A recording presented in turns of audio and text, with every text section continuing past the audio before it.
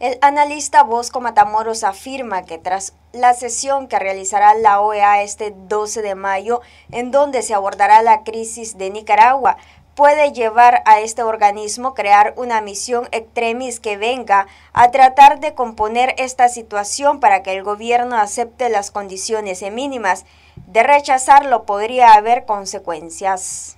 Esto puede llevar, una, para mi modo de ver, un proceso o una misión en extremis que venga de lo a tratar de componer esta situación para que el gobierno acepte las condiciones mínimas que se dan en estos procesos. En el caso del gobierno rechace, rechace una vez más, aquí están eh, una serie de guillotinas que están pendientes de caer sobre la capacidad de este gobierno. ¿Cuáles son esas?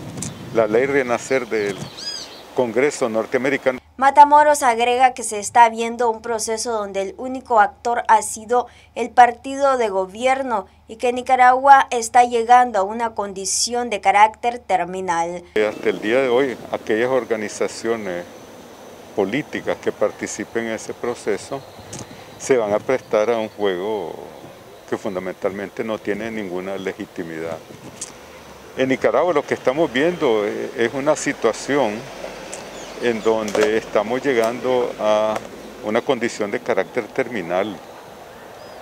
Por una parte, el aislamiento internacional del gobierno, el rechazo de todo el espectro político y democrático del país a esa propuesta de reforma que de hecho ya se sabía cuál iba a ser el resultado, pero también yo quiero subrayar lo siguiente, que el gobierno cada día está más débil y el gobierno cada día está más aislado. Y este proceso eh, yo lo miro como la receta para eh, llevar el país a una situación de desastre político.